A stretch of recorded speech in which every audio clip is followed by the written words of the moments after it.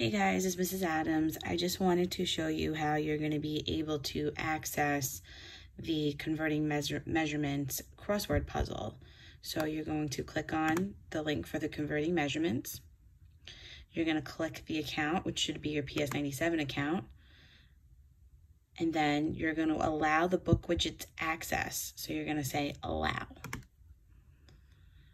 Once you do that, you're going to see this because you see that this username which is my email, is not registered.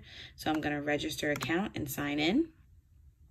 And once you do that, there you go. There's your crossword puzzle. So then you'll be able to complete that.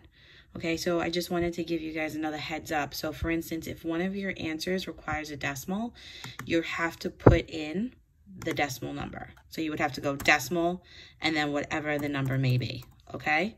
So just a little FYI when you're completing this. All right, have fun.